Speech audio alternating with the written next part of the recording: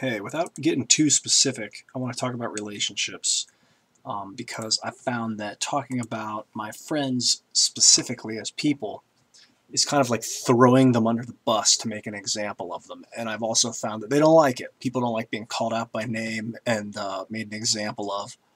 So I'm not going to do that uh, anymore right now. Um, obviously, if someone deserves it, I will throw them under the bus, just so you know. Um, but I want to put people at ease. And I've noticed that you can try to put someone at ease, but it doesn't work. You can't like calm someone down. I mean, you, you can calm yourself down in their presence, basically, and they'll calm down, but like, that's what I'm talking about. You can't calm someone down. Not that I know of. So, if you're trying to put someone else at ease, you got to put yourself at ease. And here's where I'm at getting abused. I don't know if you've ever been abused by someone from whoever. I used to get abused as a kid emotionally, like pushed around. I, I got physically kicked around a little bit, pushed around by people like peers and things. Fortunately, my parents didn't kick me around too much, if at all. You know, the occasional smack, this and that, but like they were pretty, pretty down to earth about not hitting me. You know, I got grounded a lot, thrown in my room. Uh, we're not allowed to leave the house, but it, it wasn't really abusive. It was punishment for you know getting a C on my report card or my interim uh, which was like a, a, notice they would send out between report cards halfway through, and they'd be like, if he's getting a C or less, they'll send out an interim. And if I got an interim, I was grounded until report cards came out. Could not sleep out on the weekends. It was horrifying because I love to sleep out on the weekends, go to my friends' places and sleep, hang out till five in the morning for all night sometimes. Uh, it was the best, you know, free freedom. I would get my freedom taken away as punishment, but I wouldn't get hit so that was kind of nice.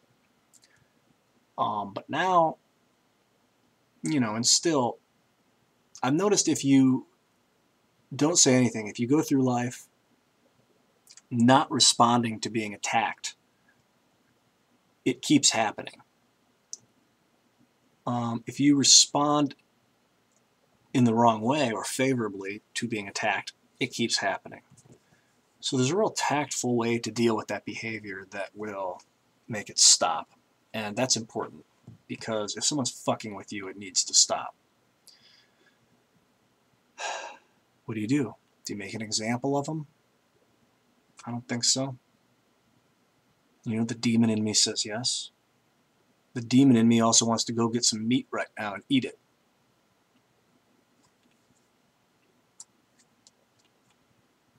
I'm just not full of hate. I never was, really. I can pretend it. I can, like, generate it if I need to or, or want to for a character or for, for whatever. I can get super angry and loud. You can, too. I've, in the past, you know, been, been abused or hassled by my friends or people that, you know, I thought were my friends and sat by silently and just let it happen and then cry. And, and then it, got to a point where I would get nasty and they would stop. Like, but you can't be a little nasty. It's like an antibiotic. If you just take a little bit of an antibiotic, the bacteria it kills the weak bacteria and the rest of them become resistant to the antibiotic. You've got to do you've got to go full force if you're going to do it. And that'll get people to shut up and leave you alone and want to be your friend. It's pretty empowering but it's mean. So I don't know, and someone's, you know, abusing me mentally, someone's like poking at me or stabbing at me psychologically, uh, I don't quite know how to react. Sometimes I think not reacting is the best thing, but I remember in the past, if I did not react, it would just keep happening. I didn't like that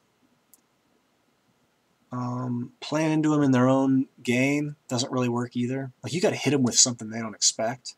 Hit them in a place that hurts. And I don't mean punch. I mean outsmart them basically. I have a lot of love. I care a lot about people.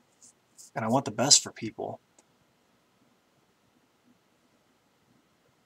Everyone individually, like the individuals, the people that I hate, I love. I don't hate, really, but you know, these words, love and hate, it's like, yeah, I feel up, I feel down at the same time. The energy is going up and it's going down. The coil is a binary.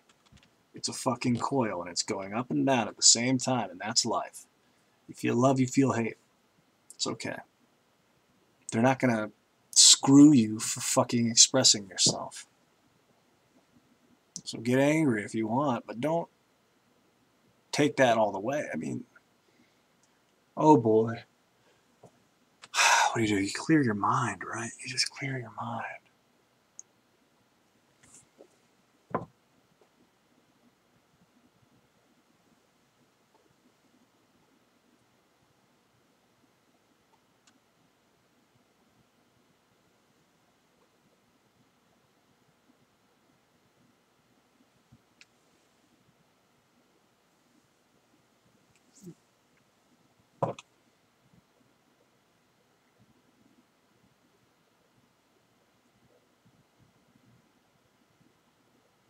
You're okay. Peace be with you, my friend. You'll be okay.